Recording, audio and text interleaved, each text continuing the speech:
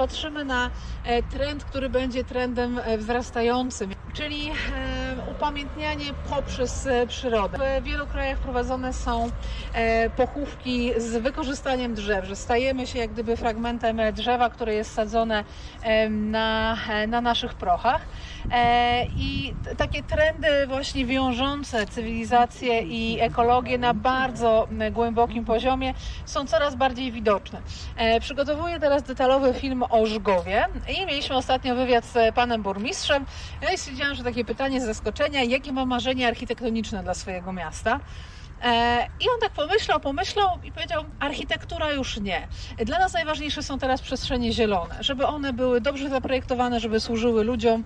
E, Więc e, moje marzenie architektoniczne to jest park, to są zieleńce rozsiane po Żgowie. I mówię, to jest niesamowity skręt kulturowy, dlatego że jeszcze 10 lat wcześniej na pewno byśmy usłyszeli, że hala pod logistykę albo właśnie jakiś duży ośrodek kultury, hala sportowa.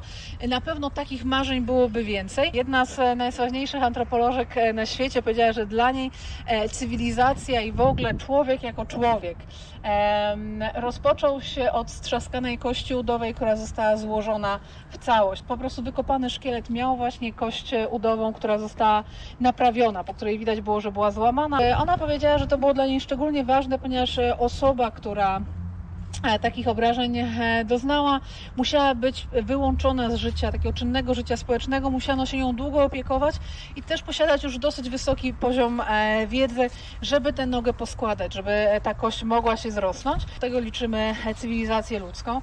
E, I fabrykant akurat jest takim drzewem, po którym widać, że staramy się mu jakoś pomóc. Mamy bardzo różne i często sprzeczne trendy. Niektórzy uważają, że powinniśmy zostawić przyrodę taką, jaką jest. Jeżeli coś się złamie, jeżeli coś odpadnie, e, skruszeje, to dobrze, to po prostu taki jest e, los materii organicznej, ona się rozłoży i stworzy się z niej nowe życie.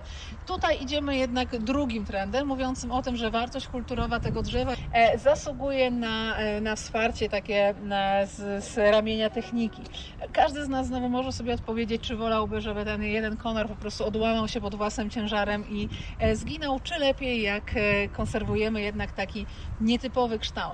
Zresztą, e, co można jeszcze powiedzieć ciekawego o bryłach e, drzew, że każdy z nich rośnie w jakiś swój właściwy sposób. W związku z tym dwóch identycznych drzew e, nie ma.